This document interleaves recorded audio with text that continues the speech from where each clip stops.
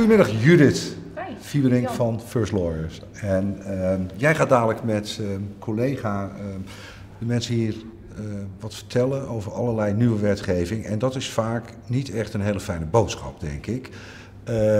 Want het is natuurlijk goed nieuws voor de burger en voor de burger van ons. Maar eh, voor die mensen is het weer een heleboel extra dingen om mee rekening te houden in hun automatisering. Ja. Eh, kun jij ons, bij wijze van uitdaging, in één minuut vertellen wat het wezenlijke is wat er na 1 januari gaat veranderen in de wetgeving rond privacy en datalekken? Ja. Tijd gaat nu in. Ja.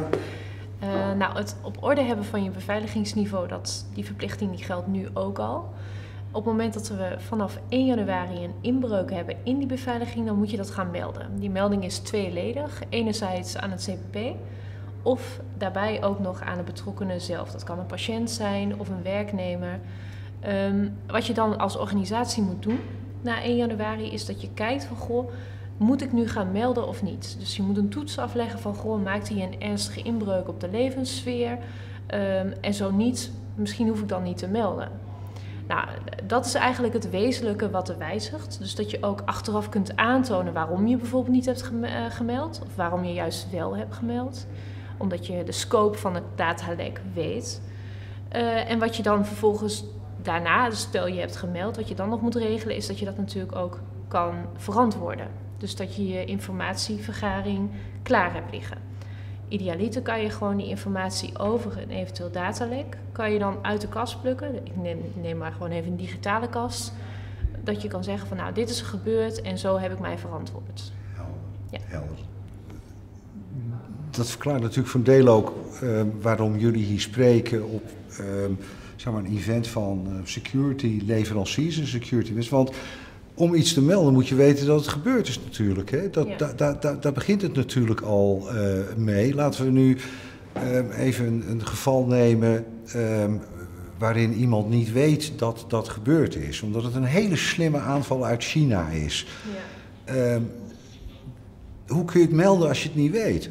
Ja, nou dat kan inderdaad niet als je het niet weet. Maar je wordt wel verondersteld om het te weten. Dat is eigenlijk een beetje het tricky eh, aan die, eh, aan die wet wetgeving. eigenlijk de lat dus hoger op je security eh, systeem om beter te meten en te zien wat er gebeurt in je netwerk. Ja, zo zou je het kunnen zien. Behalve dan dat het op orde hebben van je beveiliging, dus je NEN-normen en je ISO, dat, je die, dat je dat nu al hebt geïmplementeerd. Ja, dat geldt ook nu al. Alleen dan wordt het extra zwaar, omdat je natuurlijk inderdaad moet kunnen melden als het nodig is. En dan moet, daarvoor moet je inderdaad constateren. Ja. En, en om het nu weer te versimpelen, hè, stel dat ik een, een ziekenhuis ben of een andere organisatie. En ik heb alles zo goed mogelijk gedaan. En ik heb die processen en ik heb een security of een privacy officer. Ik ben eigenlijk helemaal te goede trouw. Ik heb het netjes gedaan, maar ik heb dat, dat lek niet gemerkt. Er is iets. iets eh, ehm, of ik ben een organisatie die die processen niet voor elkaar heeft en die die, die dingen niet uit de, uit de kast kan rukken. Betekent dat er ook in je aansprakelijkheid of hoe een rechter naar je zal kijken, dat daar dus een groot verschil in zal komen? Of eh, wordt er anders naar je gekeken? Eh, Nou ja, als er een lek is geweest, eh, zodra je dat constateert, of dat nou is omdat je dat via een derde hoort, of omdat je dat zelf hebt gesignaleerd, of misschien wel omdat het CWP, in de toekomst het AP, bij jou op de stoep staat, vanaf dat moment gaat de tijd tikken. Dus op enig moment kom je erachter. En dan moet je gaan afwikkelen. Ehm ben wel met je eens dat als er een organisatie is die dus er niets aan heeft gedaan om het te constateren, ja, dat hij dan dus bewust eigenlijk het risico heeft genomen om niet te constateren en dus ook niet de schade te kunnen beperken voor de betrokkenen waarvan de data is gelekt. Ja, dat, dat zon, dat, ja, dat dat een lastige positie is om, om je in te verweren. Ja. Ja. Ten slotte, kun je je er wel wat bij voorstellen dat.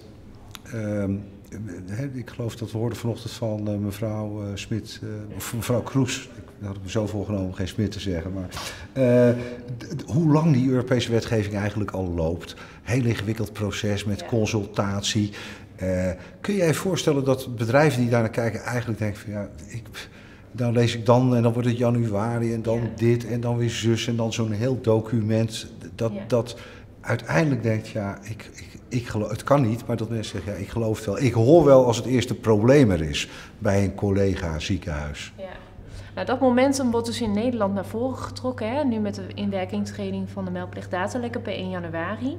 Dat is eigenlijk een voorloper van de GDPR waar jij nu naar verwijst. Dat is die Europese. Ja, precies. Ja. En Dus dat doen we eigenlijk slim door ze er vast aan te laten wennen. ja, zo van nou oké, we vinden dat dat proces wat lang duurt, dus we gaan zelf alvast actie ondernemen. En dat zijn overigens, daar staan we niet alleen in in Nederland, er zijn wel meer eh, landen die dat hebben. Maar, en, en- maar Een de vraag, kun je je voorstellen dat mensen denken, wat is het toch ingewikkeld en wat is het toch een hoop papier en, en of, Ja, of niet? Of ja, zeg je, dat- dat, dat- dat- is een verkeerde indruk van die wetgeving. Dus het valt Nou ja, best wel mee. De, de- gelukkig eh, is dat een democratisch proces, dus iedereen die wordt erbij betrokken ehm, om daar een, zijn advies over te geven. En dat is de reden waarom dat wat langer duurt. Aan de andere kant geeft het die ondernemingen wel de kans om dus zich langer voor te bereiden op, eh, op bijvoorbeeld een meldplicht. En dat maakt het eigenlijk, dat, dat is een bijkomend voordeel. Maar de verwachting is dat er eind dit jaar over gestemd wordt en dan over twee jaar in werking treedt. Maar in Nederland gaat het beginnen. En wat er gaat beginnen, dat heb jij in ieder geval al in die minuut duidelijk uitgelegd. En daar gaan jullie daar nog iets meer over vertellen. Dus nou, ik ben, ik ben benieuwd. Eh, Ja. Dus succes dadelijk. En eh, hopelijk nog een prettige restant van de dag. Ja. Dank Judith. Dank je.